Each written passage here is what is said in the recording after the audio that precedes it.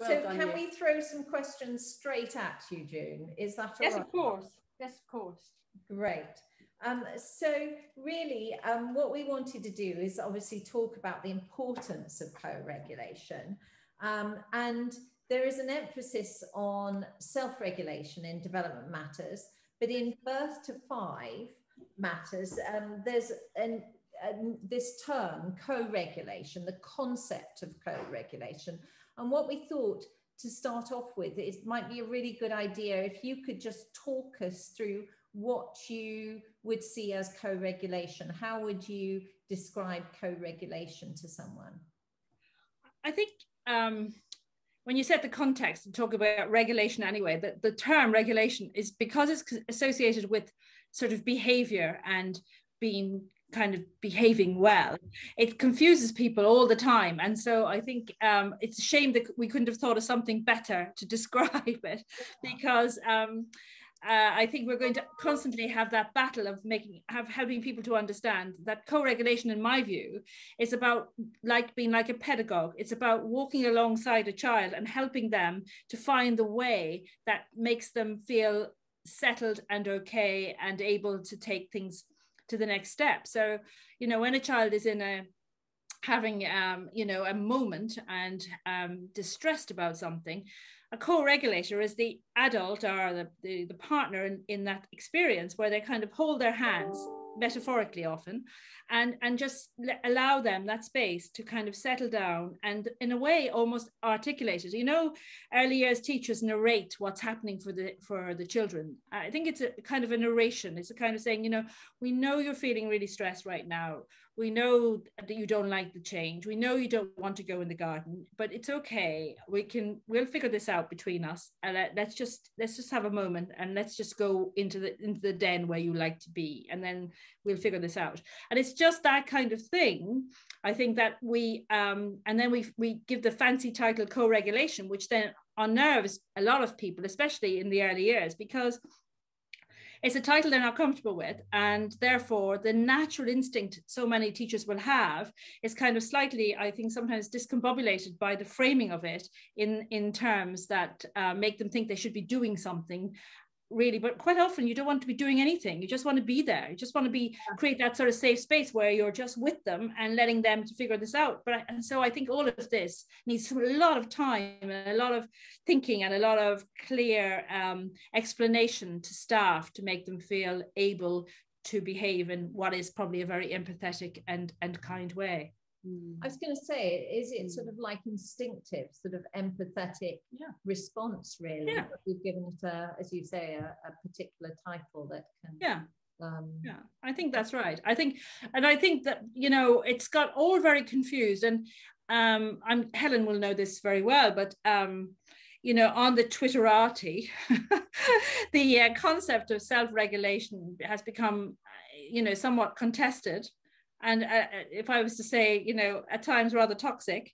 Mm. And I mm. think that creates fear as well. So people don't want to use it. You know, it's a bit like, you know, many years ago when people would talk about um, multicultural or diversity, they didn't know really what they meant by it. So they were always skirted around it and never actually addressed it. Um, and uh, I think we might find ourselves in a similar position here if we don't make it open and clear and give people the permission to to to try and find their own way of describing it and then framing it what re- it really is, rather than in the sense of it sit down and be quiet and and uh, you know um, fold your arms, which is kind of how we were brought up. Oh yeah. goodness.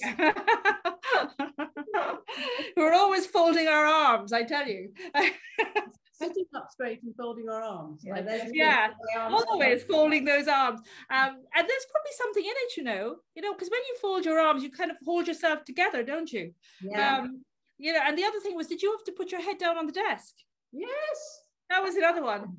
Children, put your head down on the desk. Yeah, and that I guess again in their own kind of queer, kind of quainty way, that was a, an attempt to kind of give you maybe a moment's peace. Yeah. Yeah, well, I think I got in trouble because I had my head on the Yes, desk. yes, because I was that. having a moment's peace when I should have been alerter than I was. But there we go. yeah. It's, it's about, well, yes, it, that's about control, isn't it? And it's not Mm. about regulation at all. It's just, yes, I completely understand. But interesting that you would say that about self-regulation, that you feel that people would be uncomfortable with that term. Is that what you were saying, or feel There's sort of toxicity it's a about it. toxicity? What do you think? What What do you mean by that, June? Because I use I'm a speech and language therapist, and we, with occupational therapists, we're regularly talking about self-regulation, and we're talking about zones of regulation, alertness levels, tools for regulation. And so it's interesting to even think that that term might be a term that would be a bit controversial, toxic, or toxic. Yeah. Well, I, I mean, that's my perception on it. I mean, I'd, I- I'd be interested to hear what, what Helen thinks about this as well, because it's really because it came through, maybe it's because the association of where it's come from was through the Departments of Education's kind of rethinking about what, you know, what um, children need. And it was very much sort of perceived as the sitting still and being quiet. It was very much perceived as the part of the sort of behavior management stuff. Now, and I'm not suggesting that children don't need to find ways to manage their behavior or that we don't have to find ways to make sure that you know children have a have a place and there's some rules and boundaries don't get me wrong i'm not suggesting that at all but i think it was the way it was managed the communication was managed that it was sort of in a way swooped upon by people who thought my gosh they're now talking about them you know um being you know being quiet sitting still. And it was in all of that was it was framed i think in the debate about children going to school earlier and earlier. And i guess from us in the early years the anxiety quite rightly is they're really not ready for this sort of thing. You know they're really uh this is imposing sort of rules on them and behaviors on them that they're not actually ready for. So it's only going to cause more stress rather than reduce it. And i think it was within the context of all of that that the term self-regulation started to emerge. And then it was kind of i guess it was the kind of um, the, the word that described all of the emotions that was behind the scene and stuff you know what i mean and then i think everyone gets anxious about it now because maybe they don't know but you know people feel an anxiety around a term Yeah. and then uh, they pick up the anxiety rather than explore it and, and and tend to i guess avoid it Yeah. So it's quite important to explore that term because self-regulation is also becoming alerter. So it can be calming, but it also can be to try and encourage children to become more alert. So it Mm. can be two ways, Yes. can't it? It's not necessarily calming. No. It can be, I think that's everybody thinks it's about calming, but it can also be about And it's alerting. Yeah, it's Mm. finding that sort of place, isn't it, where you're Yeah. you're sort of at your most well alert or Yeah, you ready. know, yeah, yeah. ready to go. Um, so, June, little quote from Birth to Five Matters here, which is self-regulation depends on and grows out of co-regulation, where adults and children work together towards a common purpose, including finding ways to resolve upsets from stress in any domain and return to balance. But what happens to children who are not adequately co-regulated and how does this impact their ability to navigate their feelings build relationships and all of that you know, one of the things that seems to me to be missing in the rush to get people qualified these days is uh, a real attention to child development, uh, a really old-fashioned, back to basics kind of time to really pay attention to observing children and taking your time. You know, the days of Mary Sheridan are really short these days, and I really would like to bring bring her back. In fact, we do. Uh, she is Yeah. kind of essential at an all LEYF training, have. and I think that's part of the that's part of the problem. And I think what's happening is there's kind of two two sort of approaches. One is how do children develop, and the second is how do children learn. And we tend tend to kind of oscillate between the two instead of just kind of really paying attention to stuff, understanding first the development stuff, and then on that, you know, how they how they learn. And I, I can hear people screaming now, going, "You can't develop without learning." And uh, yes, I know that, but you know, it's it's about understanding what's possible within that kind of that Yeah. sort of milestone space to then apply how the learning happens as a consequence of that. and i guess that's that's the first thing and so therefore when when these new this new language to, to our sector it's not necessarily new to other sectors but when it's then applied. There's two responses. One is oh we must go on a course. We must go on a course. Mm-hmm. and secondly we must have a policy. And um, and then you kind of feel if ofsted come we, we have a policy and and and we have we've been on a course. And, you know and i think when you do that without really understanding how children develop without really paying attention to the core stuff you get confusion mm. you get ignorance you get fear and you get anxiety. Mm. everything actually that they're trying to address in this conversation about regulation, co-regulation, emotional regulation, however, whatever language they want to to use to describe the story, really, of mm. how do we understand children's development with regards to their emotions, and how do we introduce a sense of stretch for them, and a positive, you know, ability to manage stress because that's important, mm. an acceptance that stress is actually not always bad and um, and the sort of thing that the Heckman equation talks about, which to me is critical, which is things like perseverance, empathy, yeah. um, an ability to listen, an ability to stick with things, you know, that stickability yeah. stuff, and also an ability to um, to in a way defer gratification you know to, to to to understand how to cope with it's coming in a while type thing. Yeah. But I think fundamentally we, we we jump the gun by not actually you know on sort of paying attention to the development frame that in that we will be teaching children those kind of things and i think that's part of the problem and i guess um, if i had a magic wand if i was the minister for the day i would take everybody back to child development everybody mm. health visitors yeah. um, you know uh, teachers uh, nursery staff and actually make it a really essential part of everyone's training. I would introduce it in schools. I would have it the whole, you know, the whole kit and caboodle really at every level. Because when you understand that, you can then start to think about the more complex kind of learnings and the more complex, you know, um, sort of in a way transitions that need to be had eh, to to their various kind of uh, next steps, next stages. Mm. Although I shouldn't say next steps because that's a dreadful thing, isn't it? That next steps where you know you can't even write up something unless you can find a next step. And I say to them, what about just letting them stay on that step for a bit longer mm. and just absorb that and assimilate that and enjoy in that, and then they can get to the next step, you know, in a couple of weeks. What about that? What about practice, repetition? You know, hey.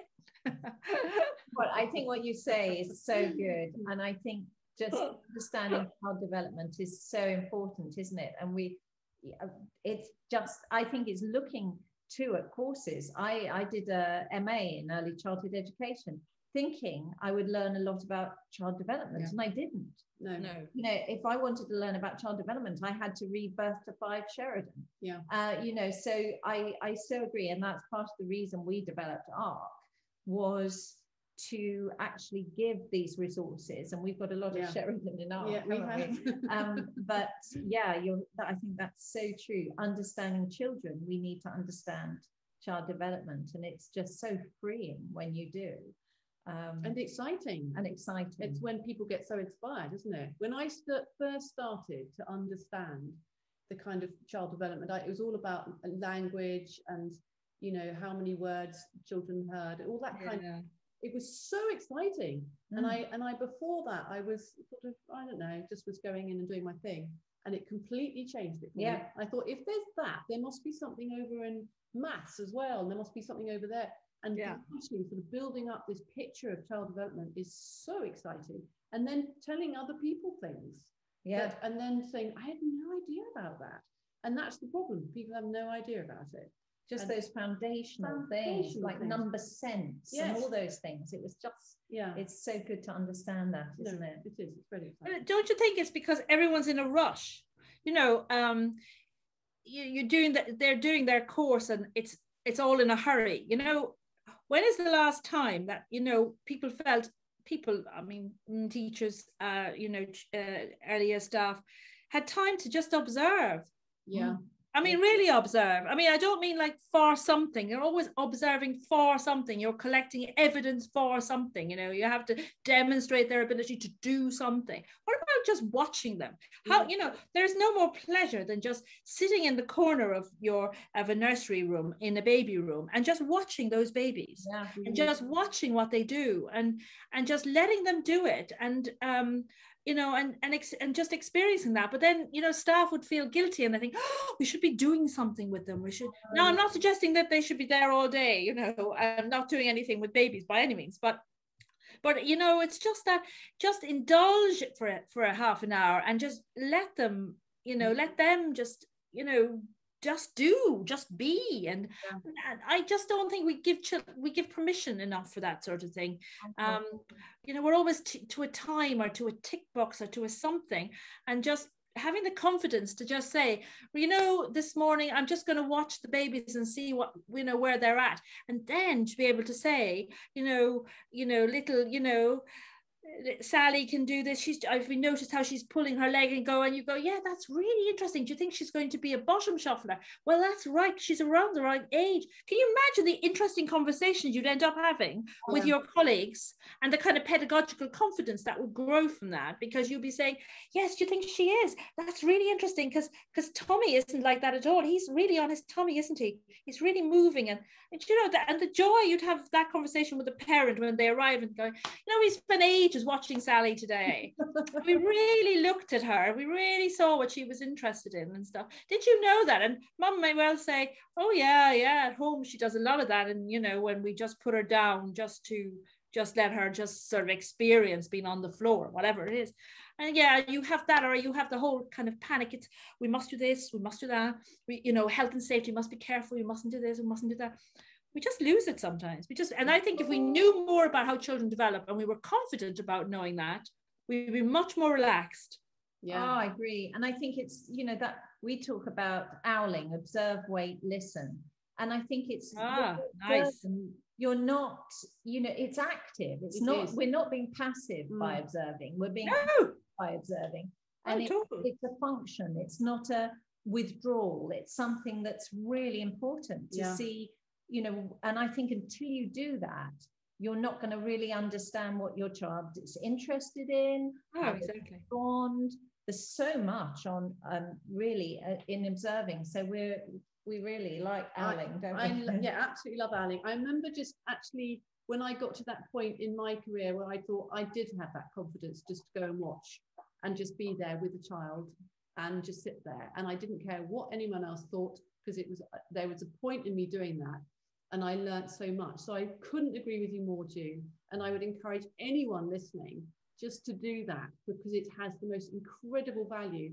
And actually, it's a really empathetic thing to do as well because you're just you can get really inside that child really understand what's going on and the sort of things that are interesting them or worrying them or it's brilliant i think uh, yeah I And do you think the new framework actually has helped that without, you know, having to focus on so much evidence on, you know, observations and writing those, that actually the way the new framework is is laying things out, it will encourage more of that.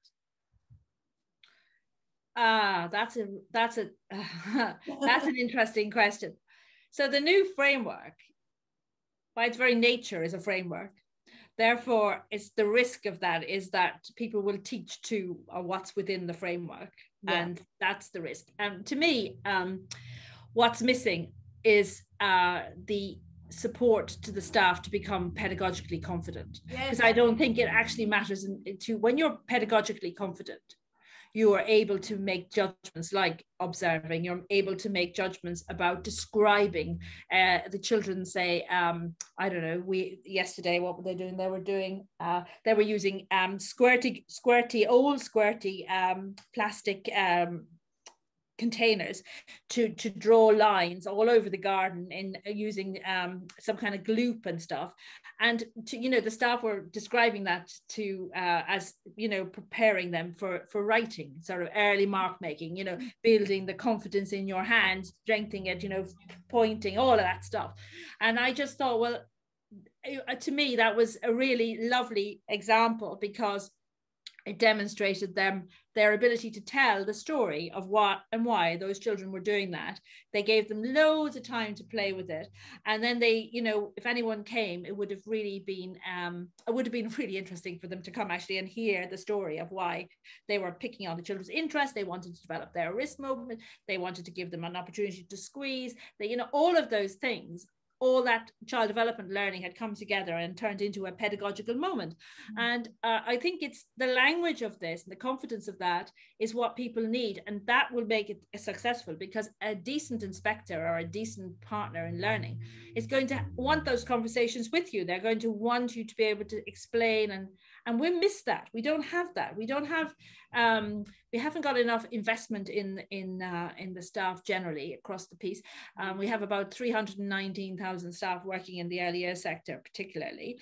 And um, you know there is no proper guaranteed um, pathway for them. Now that's not to say that organizations don't develop their own. I'm not saying that at all um, and that's not to say that uh, you know it's possible for them to have pathways, but there isn't a national, structured, well recognized, solid, well funded journey from arrival uh, to to to to MA. So at least I have that. We have developed that right from level one. I've got our own degree. We've just had a, uh, the top up is now so they can do their honors degree. So you can come at level one, you can be uh, unqualified, you can become level two, you can then train to be a LEYF teacher, level three, you can become a SENCo, level three, you can do sustainability, level four, you can do leadership, level five, you can do a foundation degree, level five, you can do a top up honors, level six, and hopefully you'll eventually be doing an MA, level seven. That is not, that shouldn't be dependent on my passion for my staff to, to allow that to happen and be supported. Or you know eh, other very nice organizations that do similar things. It should be the right of everyone who wants to enter the sector of working with small children. Yeah. it should be honored and funded and it should be um, really good caliber as well. And it should have solid solid child development as its baseline. And that is not what's happening yeah. And that's that's that's why the, the framework could be a framework of 50 points two points 10 points 68 points. Yeah. Until you've got a team of staff who feel able to interpret it develop it extend it and and translate it mm. you know both for themselves for their children and for their parents. You are always going to be up against uh, a kind of deficit model that we can't deliver against these things and we must be the weak weak link in this. And I, I i'm very resentful i think of that attitude when i see like i have 820 staff and i see the work they put into the interest the way they attend their cpd the way they the passion they feel for their children and the love that they demonstrate. And then there is no proper framework for them to work to. Yeah. uh, and that's wrong. That's fundamentally wrong. And that says something about our attitude to our children as well yeah, absolutely. You're, you're, so right. You're so right. Yeah. We'll keep campaigning for that to change because it's not good. Absolutely. Yeah. So um, going back to um, co-regulation. Yeah. And uh, just I've got a few few more questions we wanted to ask you. And I think this question you probably already answered. Um, just looking at, you know, what what skills are the sorts of skills that early years teachers need to successfully co-regulate. But you sort of talked a little bit about that, that it is that sort of engaging and empathy and narrating. Are those, what sort of skills would you say a teacher could feel, oh yes, I really, you know, I, I know what I'm doing when I'm co-regulating?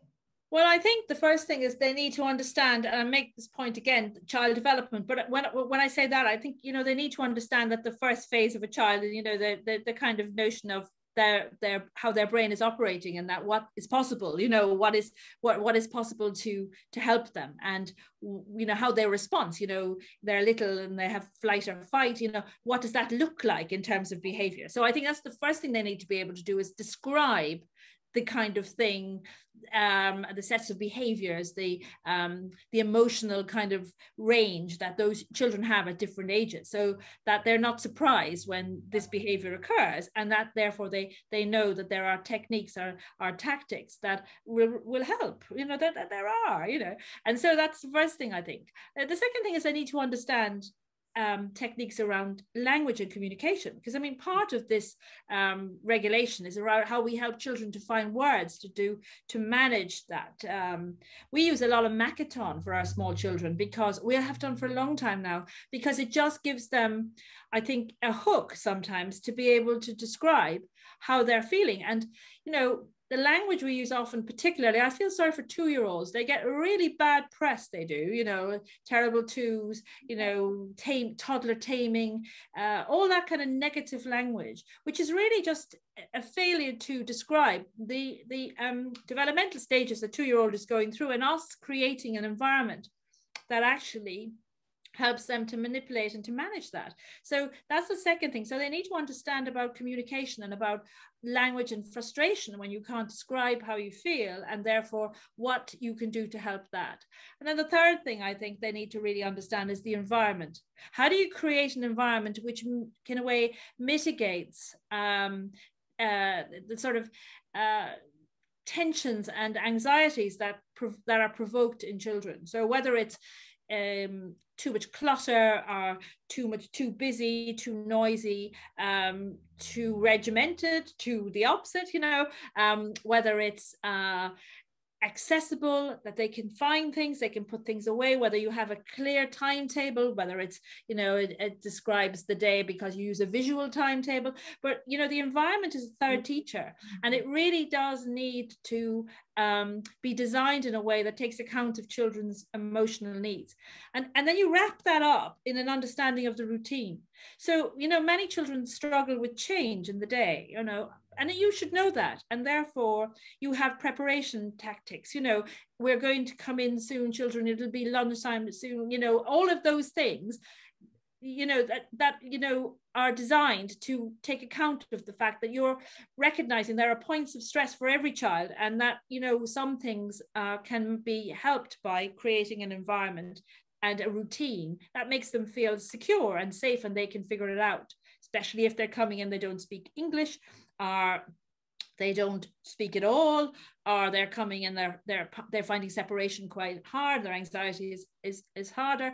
So you know, I think the environment is is is quite significant, and the routine, which is often misunderstood, is actually critical. I think to staff then understanding how to to manage children's uh, needs you know, a point that drives me absolutely crazy and causes stress for children that's unnecessary is this waiting business. Oh. You I say to the staff, why are they all queuing up to go outside?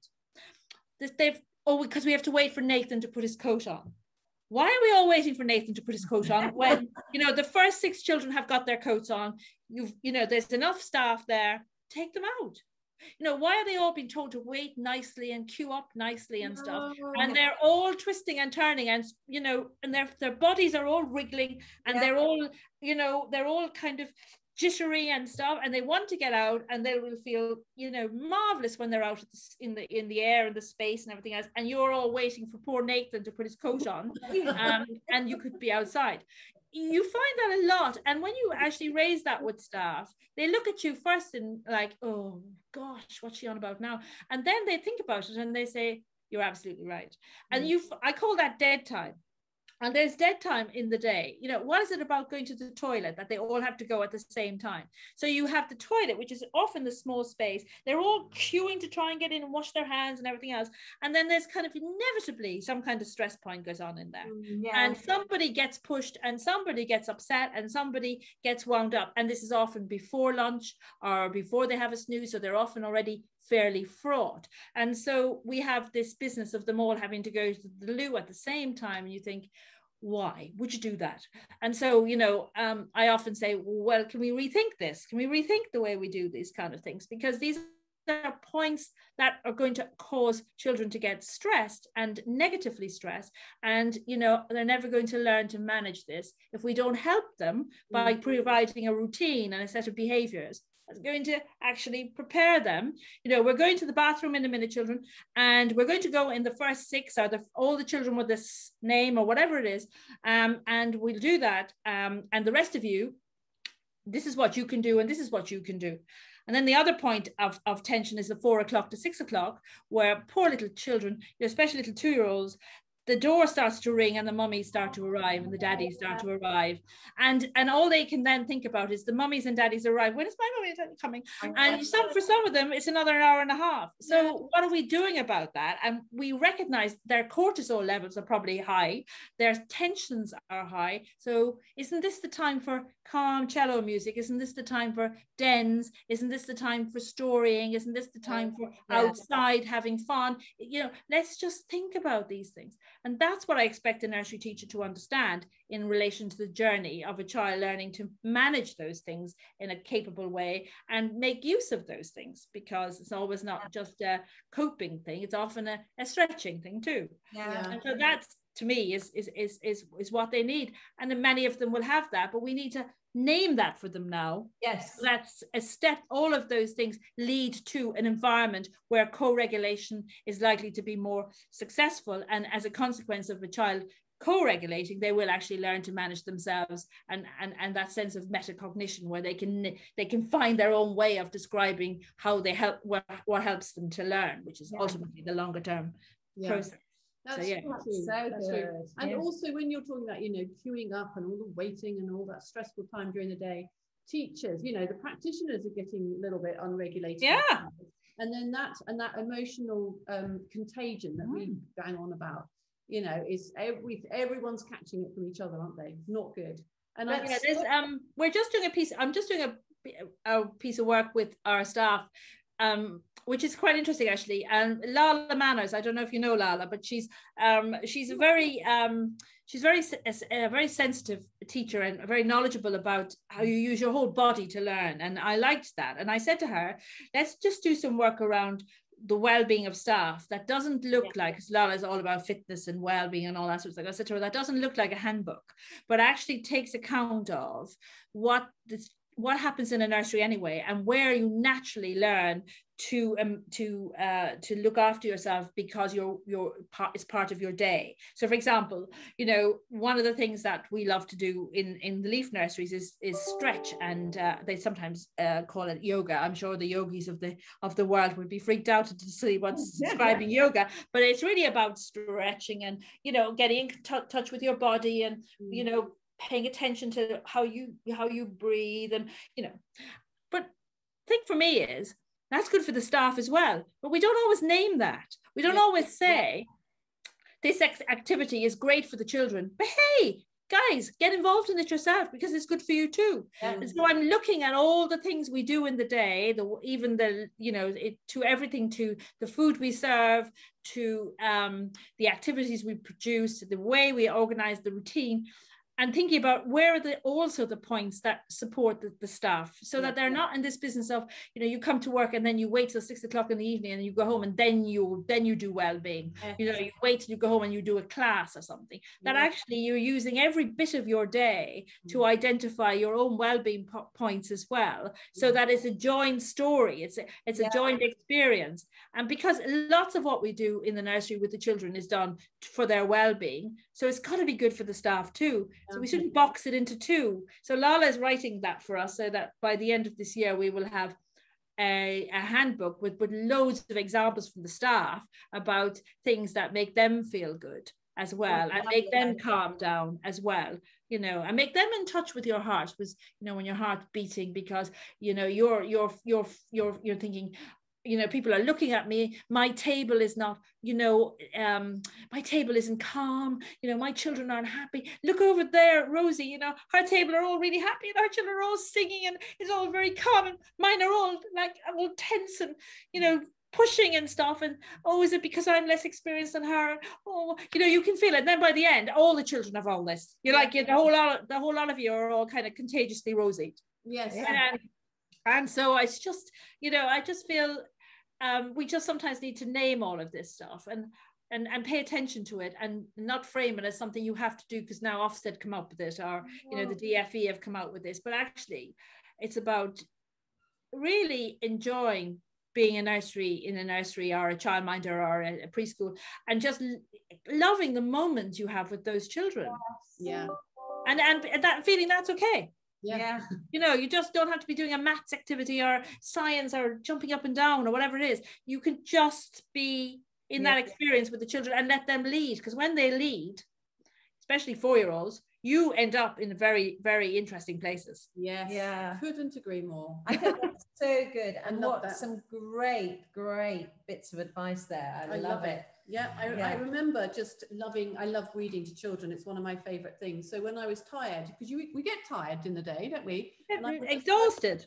exhausted. So just I would just go and sit in the reading corner and open a book. And within about two minutes, I was sort of covered with children and we were yeah and we would read about 16 i think 16 books was the was the record, record. and just carried on and i think staff were looking at me like is she actually going to do anything today that you know i did have yeah. that feeling but i thought no it's this is good this is good i'm doing a good thing here and so yeah, that's it. Very interesting. Is she going to do anything? And the other thing is, staff sometimes are resistant, are reluctant. Uh, I mean, I think with confidence, all this comes, and and a culture, a culture in your in your setting that allows this. But just to have some humor. Yes. yes. There's nothing better to oh. break the ice and to solve yeah. a tension by having some funny things, saying something funny, yes. doing something funny, and they love it. And that gives them permission to kind of relax themselves, and everybody has a jolly time. Exactly. Absolutely. Laughter models, be a laughter model. I could yeah. not agree more. I couldn't. Yeah. Um, do you think, June, it's possible to over co-regulate or over protect? You know, does this impact the child's ability to independently self-regulate? Haven't we just created a whole generation of, of helicoptered cotton wool children? Yes. Um, completely and utterly and that's the health and safety thing I, I, mean i say that to, to to the LEYF staff health and safety guys is to mitigate risk it's not to eradicate it yeah. and if you eradicate risk you know then in a way you're creating children who can't who who will lose their own confidence to trust trust their own bodies yeah, part yeah. of self-regulation is about trusting what you know what you can do most children will make pretty good judgments about how far they can jump, how far that you know when they need a hand to ha- to hold, when they need to get out of a, a tunnel that they're feeling anxious about. They they're pretty pretty good at, at, at, you know connecting with their own instinct. Yet we're all you know don't do this and be careful and hold on and oh we can't have that and oh my gosh that tree's too high and oh, what about health and safety and what if they fall and and we've created an environment and um, parents haven't helped with um, you know with with this whole business of you know suing people and you know if they fall we'll be in trouble and you know I remember when I was growing up in a, a very um, relaxed kind of way as we were in the 70s and your biggest achievement was how many scabs did you have on your knee? Yeah. You know that was a point of like that was a point of honor Oh, yeah. I've got a really big one down the side. You know, have you seen that one? Where did you get that from? Oh, I don't know. But you know, did anyone worry about these things? Did anyone think their leg was going to fall off? No. Yeah. Um, and so we have we have created this, and and then we have manipulated their environments for them. So the so-called risk is like something we bought from a shop you know that kind of looks like a, uh, something you can climb into and it looks a bit you know crazy but actually watch the children if you have a garden we have in some of our nurseries we have very little garden and some of our nurseries we have great big ones. So watch the children in a big spacious garden. Or just watch them. Just watch them. Mm-hmm. just follow them. And their game is riskier. It's more fun. It's mm. more um it's more uh kind of pressured in some ways. And it, it provides more extension and stretch for them than us setting up everything all the time. And we just have to be braver about that. And we have to really take advocate for children because we have created a completely, um, you know, overprotected, uh, unhelpful, um, and um, I think boring environment yeah, yeah. for them. Yeah, um, absolutely boring. You know, um, and you know what happened to just throwing a whole heap of you know cardboard boxes in the middle of the grass and let them get on with it yeah yeah oh we had a great chat with um, a lady called daisy turnbull who wrote a book, um, 50 Risks to Take with Your Children. Oh, nice. He was talking about the bubble wrap generation. Mm. And just like this, talking about how we have got children will never be able to manage risks if you never allow them to experience risks and it was just such a good conversation was, not it it was really good it was like don't, don't you think that some of the stuff that you know is is kind of often considered um uh, slightly wokest these days but you know with that sense of uh, so many people needing safe spaces, um, feeling anxious about things, you know, the increase in mental ill health and all that sort of thing. Do you not think that there might be a link back to some of their, uh, you know, the kind of environment that was created for them when they were children and, um, you know, in, in, in well-meaningly, mm-hmm. but actually maybe there is something about their own levels of anxiety and stuff went up higher they didn't kind of find a way of managing that better yeah. and and didn't have that you know tussle that you have to have because you know when children play which is kind of something we're trying to take away from them even though it's their innate right and important and, yeah. and essentially important to their development um, people often think of play as nice fancy playing around having games but play is really tough yeah. I mean, play is really, really tough. And it's not very nice sometimes mm. because you have to negotiate not joining, not being involved, you know, having to find the rules, having to work out if you're in or out. Well, all of those things, if that's limited, is going to actually take away a slice of a child's ability to complete their own developmental path, is it not? Absolutely. Absolutely. And so I just wonder about stuff like that. But you know, because everyone thinks working with small children, we're all just sort of nice but dim we never have these great, deeper philosophical conversations about the impact it's had. But I always think children are small children are the litmus test of what's you know what's happening all around. And yeah. once we don't test that, once we don't we don't then you know link it back and then have those full conversations, we um we miss a significant understanding of our role as adults in supporting our children and we we um, fail to recognize the decisions we've made how they impact on them when they're slightly older. Yeah. Yeah. Gosh it's so true. It's so, it's true. so true. that's so good. It kind of links with my next question a little bit. Um, so you know part emotional intelligence part of that and self-regulation which mm. children mm. learn to recognize their own feelings and emotions and you know what they can do and the risks and that what have you. What strategies do you have you found in your nurseries your settings that have worked really well to support children in this. And I know you've got the SOFA, yeah. SOFA policy, SOFA strategy. I love that. The so the SOFA pedagogy. SOFA Tell pedagogy. Us Tell us about it. well, it takes me back to environment and the power of the environment. And um, I always thought the environment was, was really important. And then I discovered that uh, Loris Malaguzzi from Reggio Emilia said uh, that the environment was the third teacher. So I felt, you know, incredibly delighted that uh, yeah. somebody whose work is I, I like um, actually had said something that I was thinking about. So I felt very pleased about that. But and so yeah, so I spent a lot of time worrying about the environment and uh, as you know, I work with um, a lot. I mean, our game really is to, to, to provide really, really good quality, accessible nurseries to children from more disadvantaged backgrounds. Um, and what we found quite often when you go into to sort of save a nursery, and, and I don't mean that in any arrogant way. I mean literally, you know, uh, it's going to go down the pan if you don't do something with it. Was that um, you found very cluttered, very um, overwhelming environments. And I used to laugh and say to them, Is it because you don't think you're ever going to get any more money that you never throw anything out? Oh, but it struck me that that probably was fundamentally one of the elements. But um, but I think clutter, you see, is quite dis- discordant, and I think it's it yeah. just kind of unnerves people. Mm. And so we began to spend a lot of time looking at the color of walls and floor and how you lay it out and how much is real and how much is plastic and you know, all of that stuff. And we did that about 10, 10 years ago.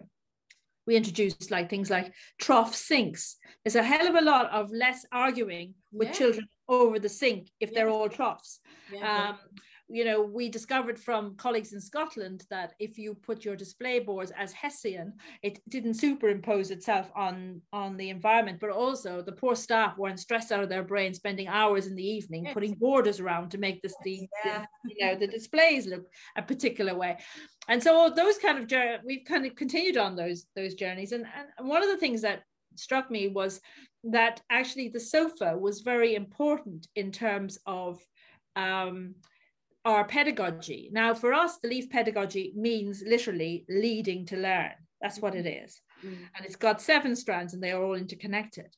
But the sofa is very important because one it has to be uh, faux leather because I can't be doing with all that chintz and those covering the stains and trying to get it out of the stains and having 16 blankets on your on your sofa yeah. to try and cover things. So I love an old faux leather. And then because then you can put blankets on if you want and you can put cushions on and you can do as you please, but that's your basis.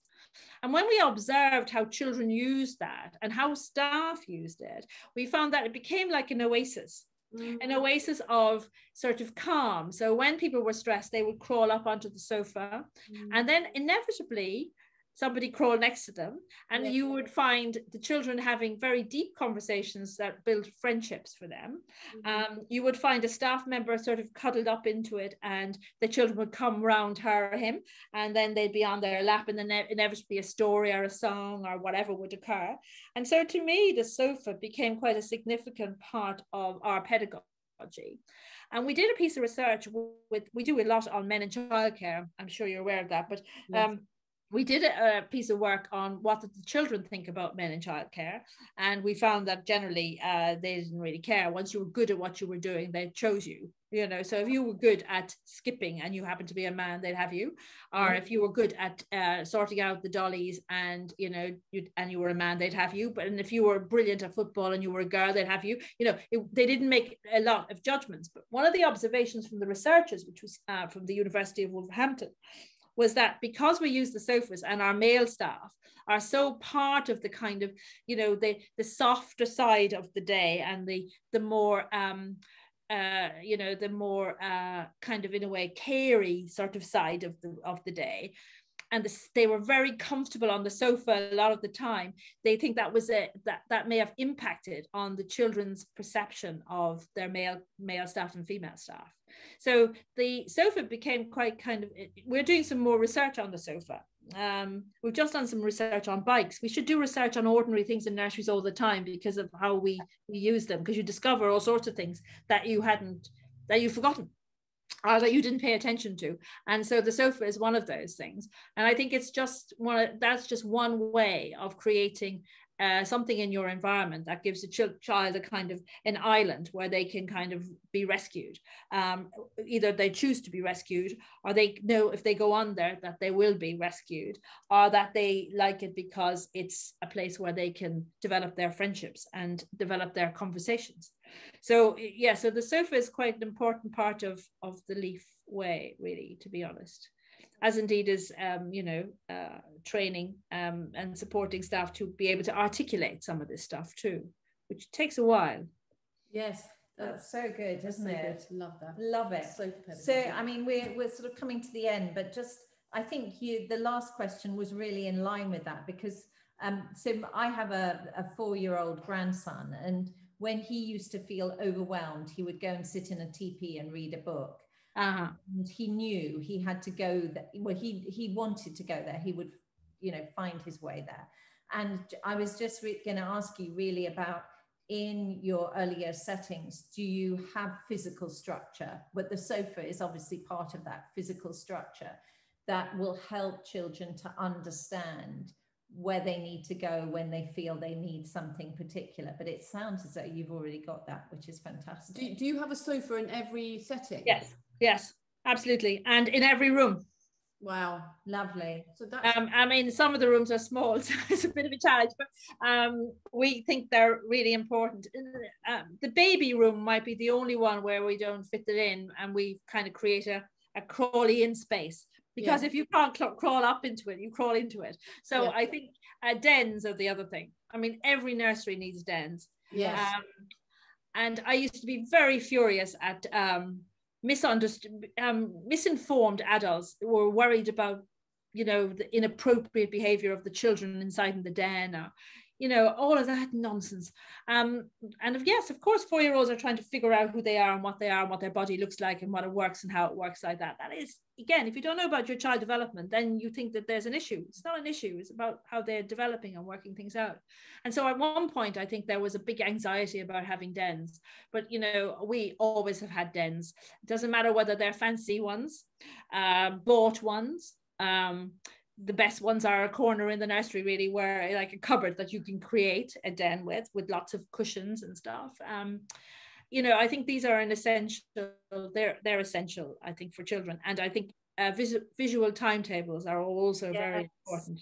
Yes. so good. So they can see what's going to happen next. Um, yeah yeah. just in their environment. I think that they're important.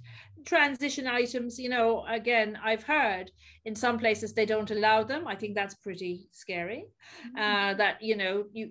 You, don't want the child to be, you know, entirely dependent on what my niece would call bappy, but you need and bappy might have to go into the basket after a while. But there, you you do need to connect connect and think, well, today isn't a good day for Bappy to be in the basket. Bappy really needs to be on her today. Yeah. You know, she needs to have Bappy about where she's going. Um, so I think those kind of things, um, understanding those things. Um, and one of the things I'm wanting to do, and and, and my staff in um, working in the baby room are going to work with me on this, is we want to look at transitions for co- what I call COVID babies, where we've had little babies who joined us wow. throughout COVID, who've really experience the settling in period that's a bit like something out of the handmaid's tale. You know so if you were to say to somebody the thing is you arrive with a mask and you hand your little baby over to someone and you can't go into the room with them and you're and she's wearing a mask but you'll take it off when you're inside oh um, and on a good day we'll be able to have you in the garden and we'll show you everything on video and we'll send you pictures and everything else home but effectively we're saying you can't come in. Mm. you would have shot me down. You would have said this is this is this is cruel but this is what's happening and yeah. so i want to know if all the things that people have done with the best of intentions you know the warmest of intentions uh like you know you know out you know settling in outdoors videos all of the stuff you know many more conversations with parents all sorts of things that you can possibly do but actually is this working for for babies i want to know are we doing this are we getting it right for them are, are they showing signs of stress that um, are different mm. because they're not crying and they're settling in and you know mm. or are we just figuring it out and actually they've kind of adjusted to it and that's it's okay adjustment or is it they've they've adjusted to it because they've given up adjustment you know all of those things and i seriously think that we should be paying attention to that and yeah. and having and having a look um, at that. And I'm I'm I'm surprised that I'm not the only one banging on about this because I think this this is what would make the sector great in the way where we can we can look at the ordinary, which is you know settling in. That's an ordinary thing because every every child experiences it. We can look at things that we take for granted like transitions because they're ordinary things. Mm. As I said, we just looked at bikes and found that what we thought bikes were really only about physical development and stuff, that the socio-linguistic element of the bike was much greater than we thought. We kind of knew we kind of knew there would be some, but you know, much greater.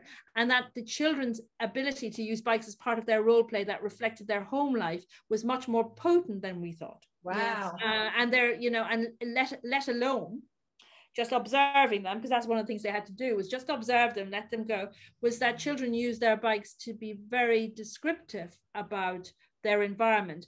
Um, and in one of the nurseries, they discovered the reason the children weren't using the bikes that much was because the astroturf, which we had to put in because of the local authority insisting upon it, um, really made it hard to cycle. Yeah. And what they had done is they turned the bikes over and they were doing quite a lot of work around repairing the bikes and, uh, you know, and that, you know, that sort of schematic kind of rotation. Yeah.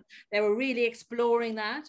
Um, and they were, and they created more friendships and more role play around that rather than actually using the bikes themselves. Hey, yeah, that's lovely. I know. And the staff were really surprised by that because they had taken for granted they hadn't they had just not considered why they weren't using the bikes. They just thought oh well they're just not that interested in the bikes. Yeah, fine that's okay yeah. you know?